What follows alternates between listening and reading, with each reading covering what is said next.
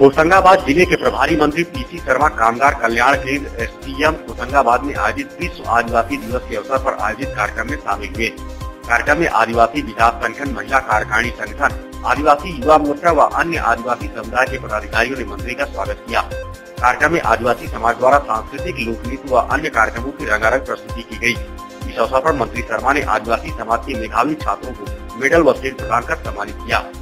कार्यक्रम में आदिवासी विकास परिषद के सदस्यों द्वारा आदिवासी भवन के निर्माण हेतु भूमि की मांग की गई मंत्री श्री शर्मा ने आश्वस्त किया कि आदिवासी भवन निर्माण के लिए भूमि शीघ्र उपलब्ध कराई जाएगी, जिसमें आदिवासियों के सांस्कृतिक समारोहों का आयोजन किया जाएगा। वहीं मंत्री शर्मा ने कार्यक्रम को संबोधित करते हुए विश्व आदिवासी दिवस की देशवासियों को शुभकामनाएँ दी।